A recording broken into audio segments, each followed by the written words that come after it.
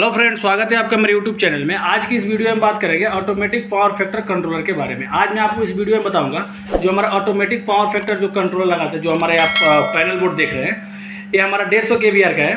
तो ये कैसे काम करता है? मान लीजिए अगर हमारा ये लगाने के बाद भी पावर फैक्टर मेंटेन नहीं हो रहा जैसे आप इसको लगाए हुए हैं, अगर आपका अचानक पावर फैक्टर डाउन हो रहा है, कुछ दिन चलने के बाद अगर आपका पावर फैक्टर डाउन हो रहा है तो इस पैनल के अंदर क्या प्रॉब्लम हो सकता है? कैपेसिटर का प्रॉब्लम हो सकता है कंडक्टर का प्रॉब्लम हो सकता है, या कंट्रोलिंग प्रॉब्लम हो सकता है। मैं आपको एक एक करके सब कुछ बताऊँगा। इसमें आप कैसे पता लगा सकते हैं कि हमारा ये जो हमारा एक पैनल है, इसमें क्या प्रॉब्लम है जिसकी वजह से हमारा जो पावर फैक्टर है वो मेंटेन नहीं हो रहा है। अगर आपका, अगर आपने ऐसा कोई पैनल लगाया चाहे वो कितना भी के का हो, फिफ्टी के होने दो हंड्रेड के होने दो टू फिफ्टी वन फिफ्टी जो भी के है, आप अपने लोड के हिसाब से जो भी यूज़ कर रहे हैं कैपेसिटर बैंक को तो अगर वो पावर फैक्टर अचानक मेंटेन करना बंद कर देता है तो उसमें क्या प्रॉब्लम हो सकता है, वो क्यों आप उसको बंद कर सकते हैं, आप उसको पता लगा के आप उसका रिपेयर कर सकते हैं। मैं अभी आपको सामने एक एक चीज़ चेक करके दिखाऊँगा। तो दोस्तों वीडियो में लास्ट तक बने रहेगा वीडियो अच्छी लगे तो हमारे चैनल को सब्सक्राइब कर दीजिए। अभी देखिए, ये हमारा कैपेसिटर बैंक है। ये देखिए ये इसका कंट्रोल साइड का हो गया ये इसका कंट्रोलर है ऑटोमेटिक कंट्रोलर मैं इसके ऊपर भी एक वीडियो बना आ, मतलब बना चुका हूँ। ये हमारा ऑटोमेटिक कैसे इसको चालू बंद करता है इसके ऊपर भी हमने एक वीडियो बनाया है। अब मैं उसका लिंक डिस्क्रिप्शन में दे दूँगा चाहे तो आप जाकर देख लीजिएगा। ये देखिए ये हमारा हो गया इसका ऑन ऑफ़ करने के लिए जो इसका एनो पॉइंट है ठीक है? ये ये देखिए इसमें एक इसका ऑटोमेटिक है और एक इसका मैनुअल है ठीक है? यहाँ पे देखिए हमारा ये सब कंडक्टर लगा हुआ है। उसके बाद ये हो गया इसका एम ये इसको पावर सप्लाई के लिए। देखिए, ये नीचे जो हमारा बस बार है, बस बार से आ रहा है टोटल एमसीबी में और एमसीबी से हमारा जो हमारा कैपेसिटर बैंक है, उसमें जा रहा है, जो कि हमारा छोटा छोटा पंद्रह के वी आर बीस के वी आर पच्चीस के वी आर जो कि लगा हुआ है, उसमें गया हुआ है, मैं वो भी आपको दिखाऊँगा। तो अब अगर मान लीजिए आपका capacitor bank power factor maintain नहीं कर रहा है तो इसमें क्या प्रॉब्लम हो सकता है? आप देखिए, आपको क्या करना है? एमसीबी का तीनों फेस चेक कर लेना है ठीक है?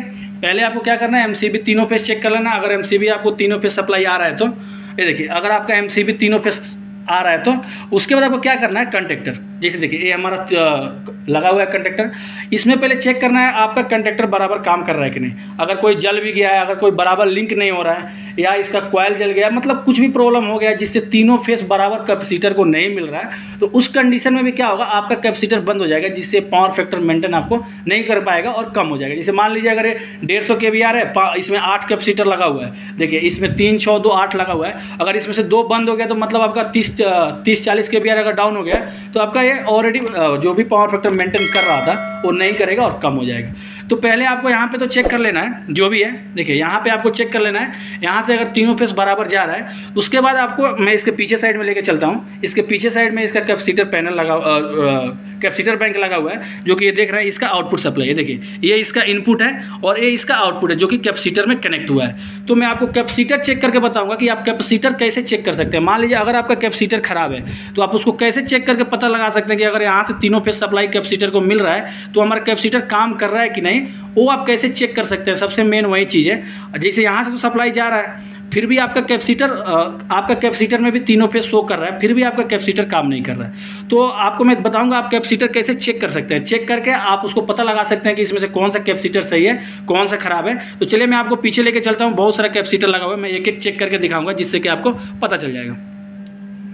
अभी देखिए ये हमारा हो गया पीछे का कैपेसिटर में देखिए, इसमें आठ कैपेसिटर लगा हुआ है, ऊपर में सात है और नीचे एक ट्वेंटी फाइव के का कैपेसिटर लगा हुआ है। तो देखिए, अभी क्या है इसमें सब में आपको देखिए, तीनों पे सप्लाई आ रहा है, देखिए। यहाँ भी आ रहा है, यहाँ भी आ रहा है, यहाँ भी आ रहा है। देखिए, इसमें भी आ रहा है। आपका जितना भी कैपेसिटर है, सब में तीनों पे सप्लाई आ रहा है। अगर आपका तीनों पे सप्लाई आ रहा है तो मतलब जो आपको कंट्रेक्टर से होकर आ रहा है, वो आपका कंट्रेक्टर सही है। उसके बाद भी आपका क्या है पावर फैक्टर मेंटेन नहीं हो रहा। मतलब इसमें जितना कंट्रोल है, मान लीजिए सब में आपको थ्री पेस दिखा रहा है। उसके बाद भी आपका पावर फैक्टर मेंटेन नहीं हो रहा है। उस टाइम में क्या करना है, पहले आपको कैपेसिटर चेक करना है कि हमारा कैपेसिटर सही है या नहीं है। आप इसको कैसे चेक कर सकते हैं? बहुत आसान है। तो वीडियो में लास्ट तक बने रहेगा अभी देखिए, ये हमारा मीटर है। आप एक क्लेम मीटर ले लीजिए। क्लेम मीटर को एम्स पे सेट कर लीजिए, ठीक है ना? आप क्या करें क्लेम मीटर को एम्स पे सेट करके आप कंट्रोलर साइड से जितना भी आपका कंडक्टर है उसको मैनुअल में डाल दीजिए और इसको ऑन कर दीजिए। चाहे तो आप ऐसे भी ऑन कर सकते हैं, आपका यहाँ पे ऑन होना है, तभी आपको पता चलेगा। जब आप ऑन में लगाइएगा एक एक करके आपको इसका लोड चेक करना है। देखिए, ये आपका हो गया तो देखिए, ये हमारा जो आर वाई बी है, तीनों में आपको लगाना है। देखिए, यहाँ ज़ीरो ज़ीरो आ रहा है, ठीक है ना? यहाँ भी ज़ीरो ज़ीरो आ रहा है। मतलब क्या है, इसमें हमारा सप्लाई तो आ रहा है। देखिए, ये हमारा सप्लाई तो आ रहा है, पर हमारा कैपेसिटर काम नहीं कर रहा। है ये वाला जो हमारा कैपेसिटर है, ये क्या है? खराब है। ऐसे हम दूसरा वाला भी चेक करते हैं। देखिए, इसमें भी हमारा सप्लाई है। ठीक है ना? इसमें भी सप्लाई है तो मैं इसको भी आपको चेक करके दिखाता हूँ। अभी देखिए, इसको क्या करना है? एक एक तार में हम इसको एम्स में लगाएँगे देखिए। अभी हम इसमें लगा रहे हैं। अभी देखिए, हमारा कितना आ रहा है? थर्टी फाइव आ रहा है। आपको तीनों फेस में चेक करना है। ये नहीं, एक में आ रहा है, दो में नहीं आ रहा है तो भी प्रॉब्लम है। देखिए, यहाँ भी आ रहा है आपको, और फिर देखिए, यहाँ भी आ रहा है। ठीक है ना? यहाँ भी देखिए आपको क्या है? यहाँ पे आ रहा है। एक दो एम सीधा उधर हो रहा है तो उससे कोई प्रॉब्लम नहीं है। ऐसे आपको जितना भी आपका कैपेसिटर लगा हुआ है, देखिए यहाँ भी हम लगा रहे हैं तो हमारा देखिए ट्वेंटी एट आ रहा है। आपका जो भी मतलब कैपेसिटर देखिए इसमें हमारा क्या है ट्वेंटी के वी आर भी है, पंद्रह के वी आर भी है, पच्चीस के वी आर भी है। तो उसी हिसाब से एम्स लेगा। तो देखिए, यहाँ पे हमारा कितना है ट्वेंटी सेवन ले रहा।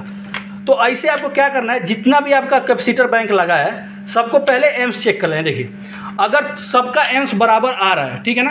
अगर जैसे देखिए, इसमें हमारा एम्स नहीं आ रहा मतलब क्या है हमारा कैपेसिटर खराब है, आप इसको बदल दीजिए, ठीक है? तो ऐसे में एक हमारा जो नीचे ट्वेंटी फाइव के भी आ रहा है, अभी मैं उसको चेक करके दिखाता हूँ, और मैं आपको इसमें चेंज करके भी दिखाऊँगा। अभी देखिए, यहाँ पे हम चेक कर रहे हैं तो हमारा ट्वेंटी एम्स आ रहा है, ठीक है ना? ट्वेंटी वन देखिए, दूसरा वाला जब हम कर रहे हैं तो इसमें ज़ीरो ज़ीरो आ रहा है, ठीक है ना? अभी देखिए इसमें क्या है? हमारा उन्नीस आ रहा है। तो हमने आपको इसमें तीनों टाइप का चेक करके दिखा दिया। एक में जो दिखाया था, आपको तीनों फेस में बराबर लोड रहता, वो ठीक है। एक जो हमने कैपेसिटर आपको चेक करके दिखाया था, उसमें क्या था? तीनों फेस में कुछ नहीं ले रहा था।